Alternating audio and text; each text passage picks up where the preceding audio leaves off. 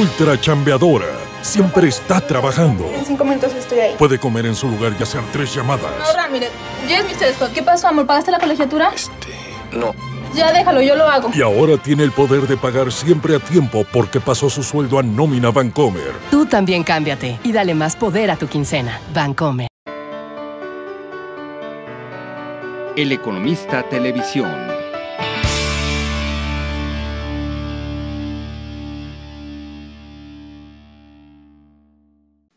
Microsoft Corp acordó adquirir a la firma de conexiones profesionales LinkedIn Corp en 26.200 millones de dólares en efectivo, informaron el lunes las dos compañías en un comunicado.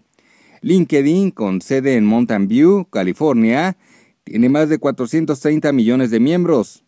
Los usuarios usan la red para ponerse en contacto con otros profesionales, publicar sus currículums y buscar puestos de trabajo.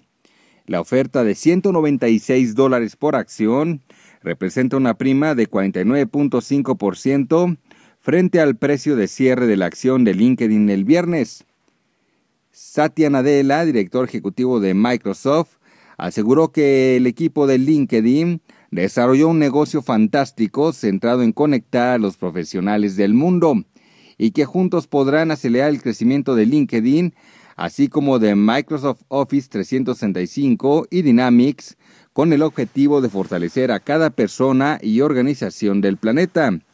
Según un comunicado conjunto, LinkedIn retendrá su marca, cultura e independencia, con Jeff Weiner como director ejecutivo.